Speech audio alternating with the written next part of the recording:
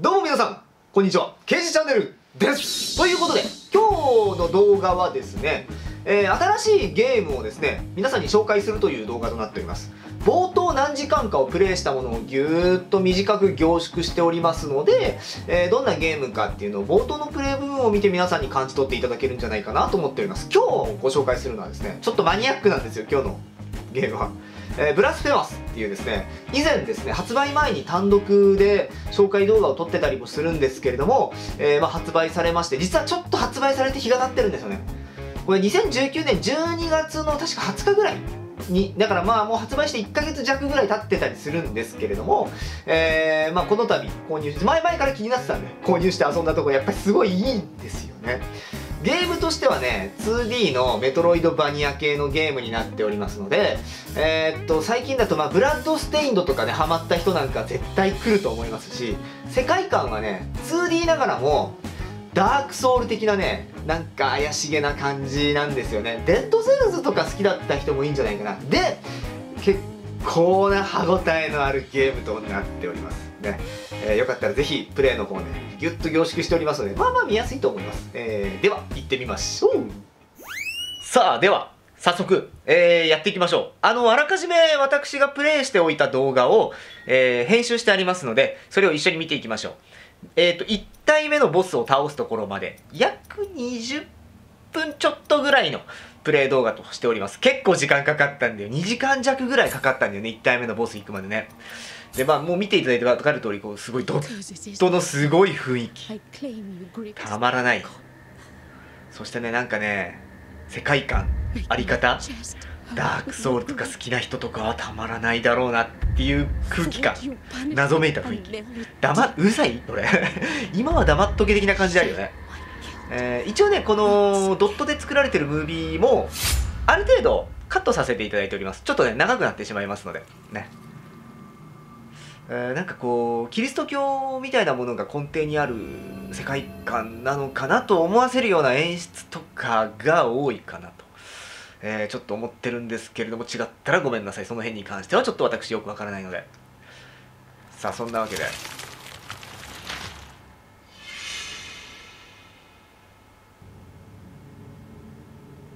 ちょっとカットさせていただきました、えー。いやいいよね。美しいドット。たまらないぜ。ドットはまあ一つのアートだよね。そして主人公が倒れております。ここからゲームスタートと、えーなっていきますね。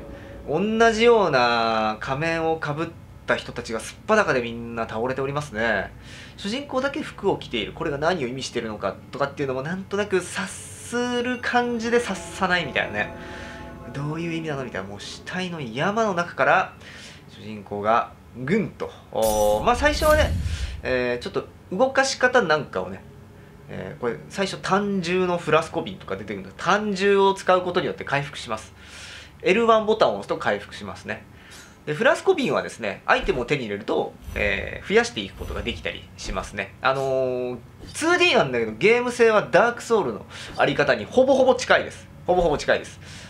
スライディングのような回避があったりとちょっと今操作をね確認しながら見ていっておりますけれどもね。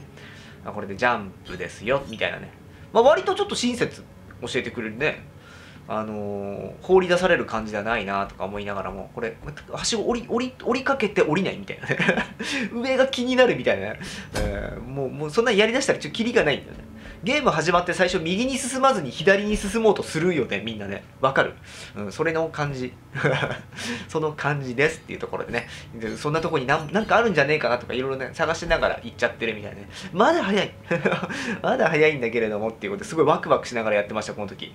で攻撃でオブジェクトを壊したりもできますね。えで右上にね0ってあるんですけど、まあ、敵とか倒したりするとあそこの数字が増えていきまして、えーまあ、アイテム買ったりなんだり。でも祈祷台っていうところがあってここに、えー、と祈ると、えー回復薬が回復したり HP も回復したりその代わり倒した敵が復活したりダークソウルとそれと一緒ですよ、ね、あり方は。2D 版ダークソウルっていう言い方は言えて妙だなという感じはします。さあではえーまあ、ボス的なものが出てくるんですよ。で最初のボスまでって言ってたんですけどこれをこれではないです。これ倒して終わりにはしませんのでご安心くださいませね。えーまあ、まずいきなりボスからの洗礼かよと。冗談じゃない。ここで何回も死ねって言うのかと。ふざけんな。俺をなめるなと。俺を誰だと思ってるんだと。藤原達也だよいやうるさいんだうるさいって ね畜生やられてたまるかよということでね、えーまだね操作方法もおぼつかない中で、えーまあとにかく覚えながら死にながら覚えていこうかなとかって思ってたらこいつの動き単純だなと思って。あれいけいけんじゃね？みたいな。いけんじゃね？かわせるぞ。うん。ああ。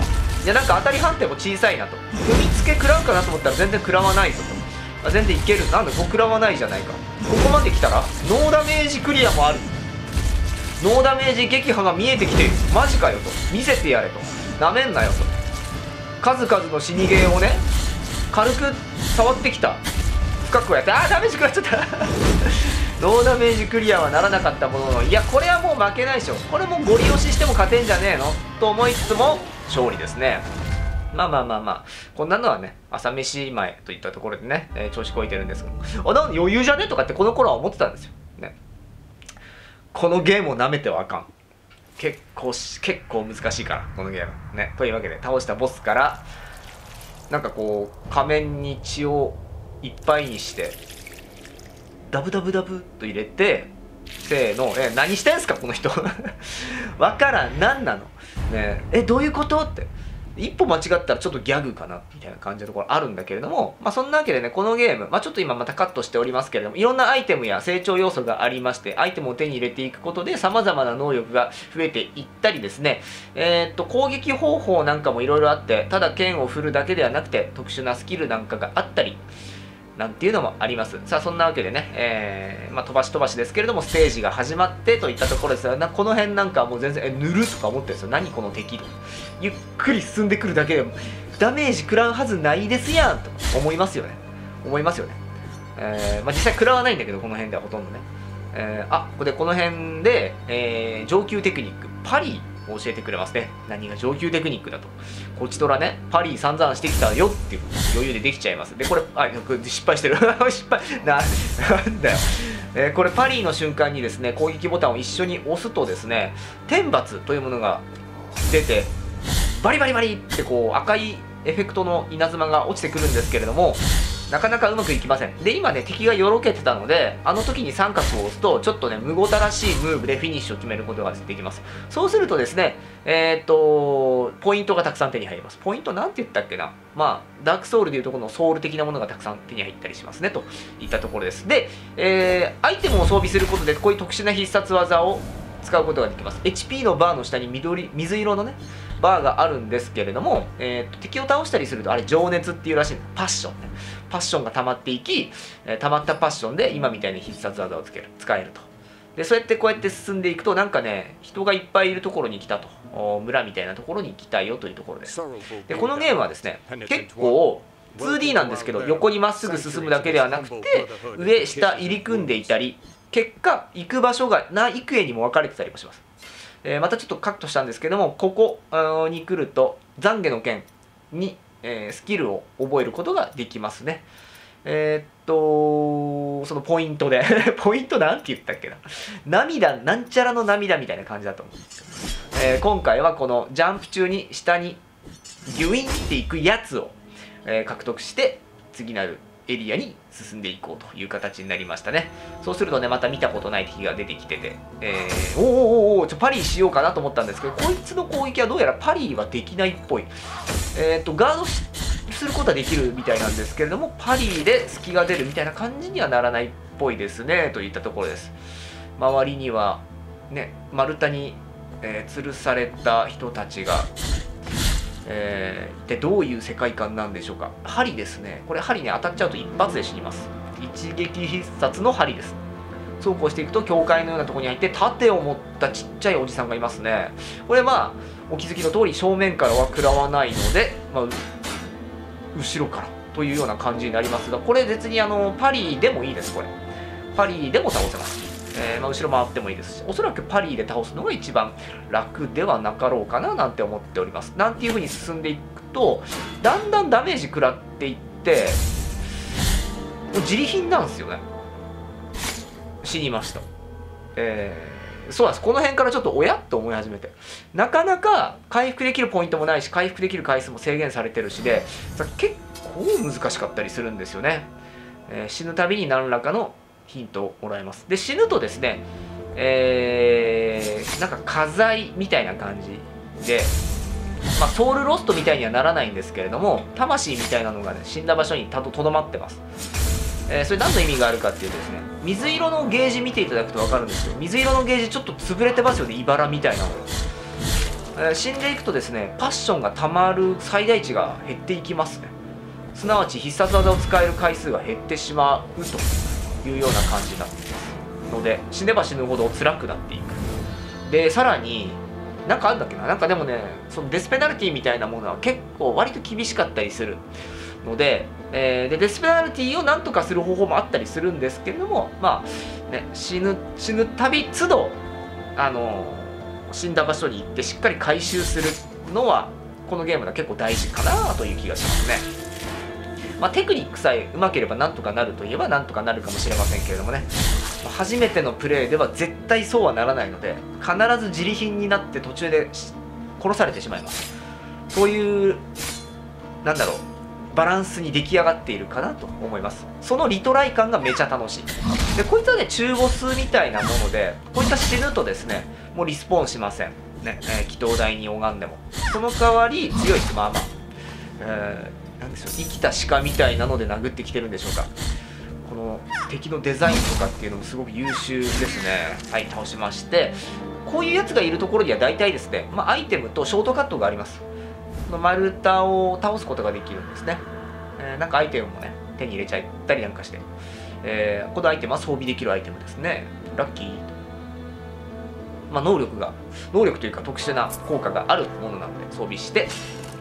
でこれでショートカットですねああ戻れるんだとか思ってねえー、えいってやったら「いたいたたいた ちょっと足りなかった死んでもうたかな」とかってねね、なってるんですけど、まあ、えー、きちっと回収して先に進みました。で、はい、もう入り組んでるんですね。違うエリアにも行けたりします。あ、ここに行くとね、あの死んだその魂みたいなの、えー、背負いし、財かだ。家財じゃなくて、ごめんね。財か。財かはない。って書いてるんですけど、まあ、死んだとこの魂を多分回収できるんではないでしょうかと思っておりますが、使使えなかったのでわからないです。すいませんといったところですね。で、ここに向かってますけど、これ以外にもなんかね、えー、別なエリアを選択することもできたので、結構その攻略の自由度はあるのかなといったところですね。2D だけど入り組んだエリア、楽しいですね。この辺から結構ね、もうやんごとなきかな。いや、マジでマジで。結構ね、大変なことになってきております。敵の攻撃も、まあ、慣れりゃなんてことない。はい。これ残酷フィニッシュムーブ入りました。う、う、う、気持ちいい。いや、気持ちいいのか？いや、でもね、これね、今のがね、気持ちよく感じる瞬間もかなりあります。だんだんやられてくるんで、敵に。悔しくなるんですよ。くそーって。だから、ああいうフィニッシュムーブを食らわせられると、オラーっていう気持ちになりますね。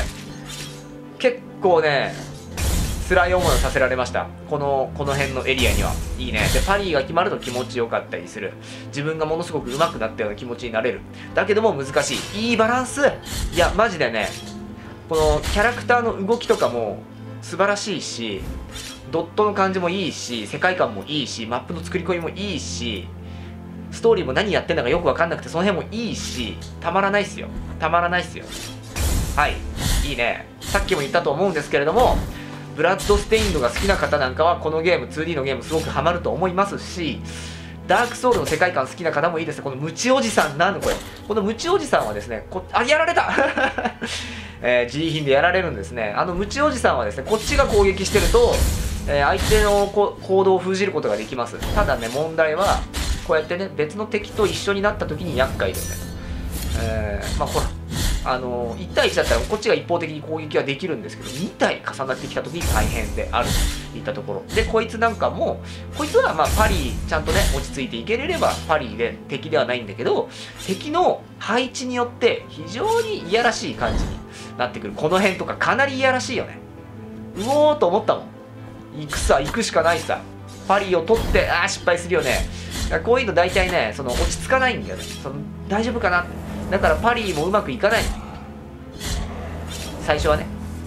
こうやってうまくいかないなっていう1回目の後死んでもう1回来た時にすげえスムーズにいくみたいなその繰り返し。いや本当にいいバランスなんですよね。遊んでて。でこんなのも出てくるとこういうゲームここのゲーム性これロックマンロックマンかなみたいなね、えーまあ、2D のこういうゲームにはありきたりだよね。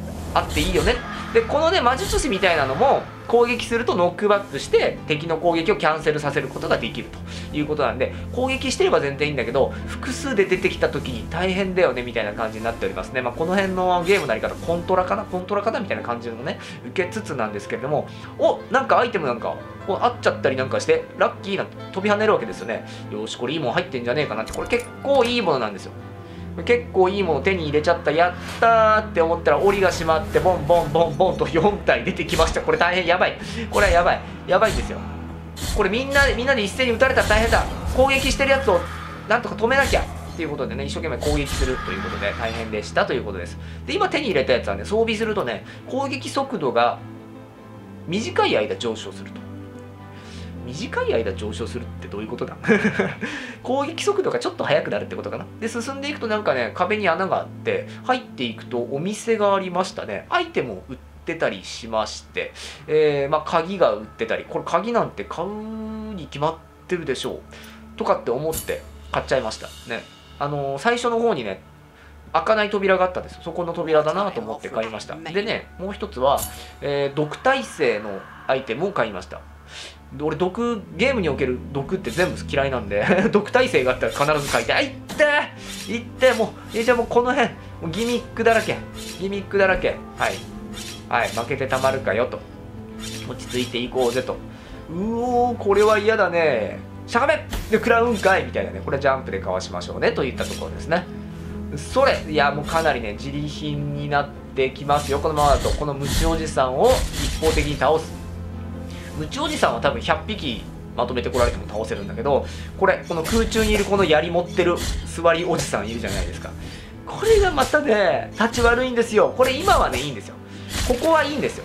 ここねあれねこっちが下段に降りてる時にあの空中椅子おじさんねすげえ厄介だから。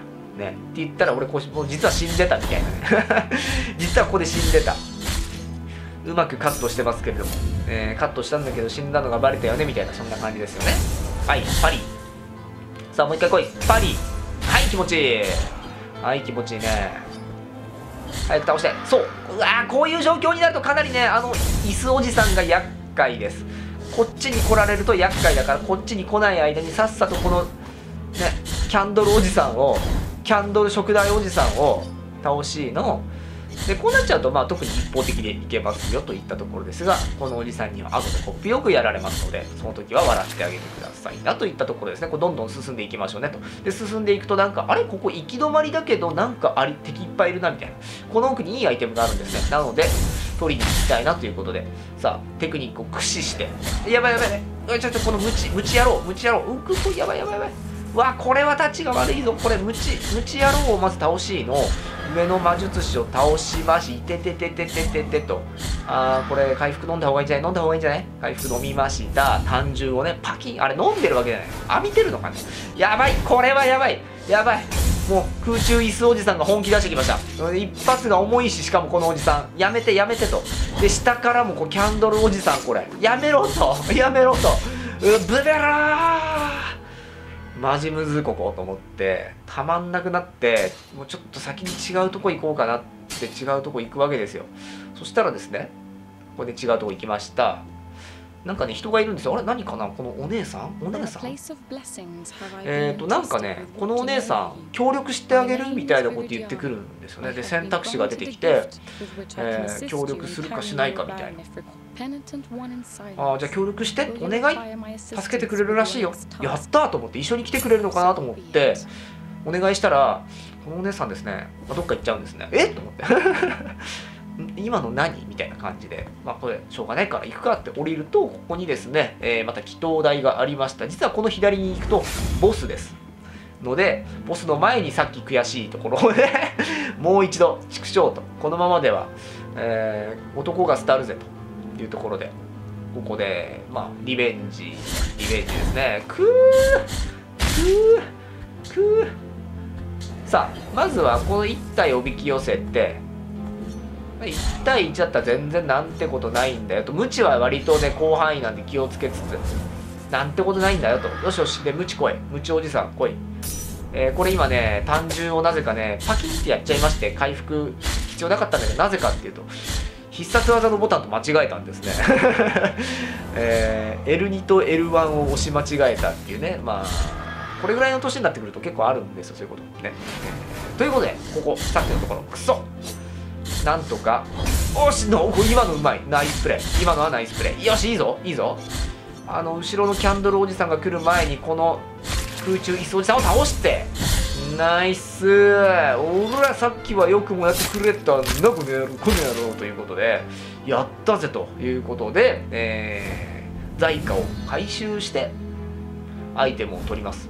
えー、とこれはですね空の単重瓶ということでこれがあると回復回数が3回にできますねということで、えー、ただどこに行ったら3回にできるのかなまだわからないなみたいな感じなんですけども、まあ、ボスに挑みに行くということですよ。でこのボスですよ。何ですか？ああこれもう最高のデザインじゃろがい。慈悲慈悲を施すものということでね、えー、まあちょっと初挑みだったのでどういう戦い方になるのか全然わからない状態です。どうやら足を踏みつけると地面から茨のようなものがメロメロって出てきますね。で口からなんかペロッと入ったねそしたらそこも茨があるみたいな感じであとは手で叩きつけてきてあーと踏みつけはどうやら追いかけてくるように茨が。で正面を向いて地面に叩きつけをした時は両サイドに茨が出てくるみたいな感じです。茨なのかな？柄ではないかなでああああさっきの人さっきの人いたね。え何してくれてるかっていうとあのピンチの時回復してくれるんですね。まあ見事死にましたけれどもね。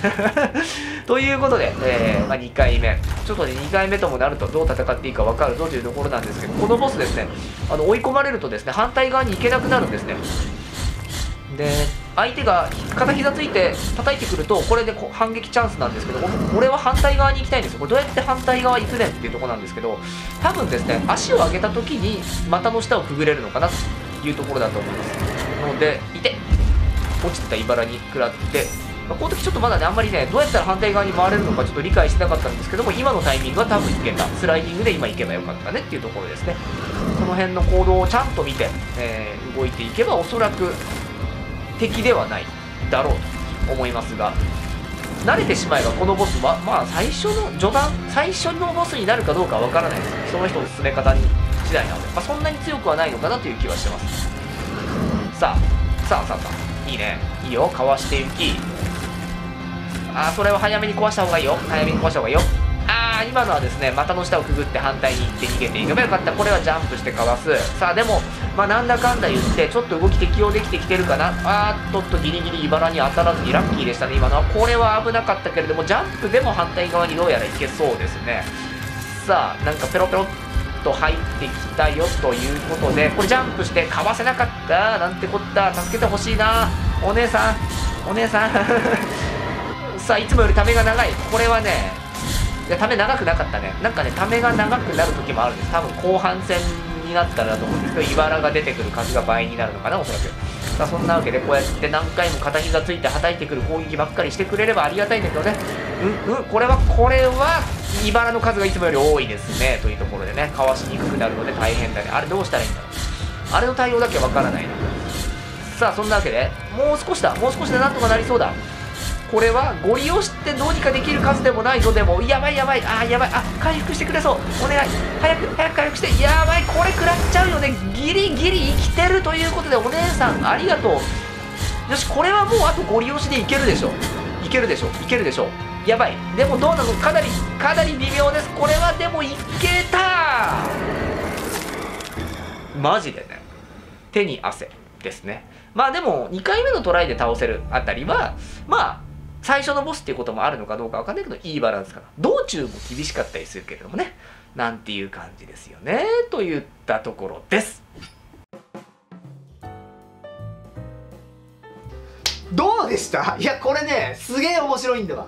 かなりハマります。で結構難しいんだけれども何回もねリトライを繰り返すのがね楽しかったりする。だって同じところ行ったらまたねあの、まあ、さっき全然うまくいかなかったところこもう一回言ったらすげえうまくいったとか言ってどんどんそのクリアしやすくなっていくっていうところはまさにその難易度のちょっと高めな死にゲーのそれだなって思います。でこのゲームも難易度選んだりとかっていうのはあれできなかったよね。できた多分できないはずなんで、まあ、そういったところは、まあ、ダークソウルかなりスペックとしてその 2D のメトロイドバニアに落とし込んだのかなっていう雰囲気はすごく感じております。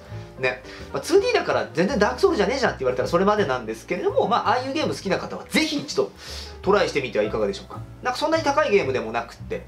なんかわかんないけどね PS ストアだとねずっと20%オフなんでなんでなんだろう ね、Steam でも遊べますし、え Nintendo Switch でも遊べますし、え PS4 でも遊べます。皆さんね、えー、好きなプラットフォームで遊んでみてはいかがでしょうか。というわけでね、結構長い動画だったんですけど、今日はお付き合いいただきました。ありがとうございました。また次回何かしらの動画でお会いしましょう。じゃあね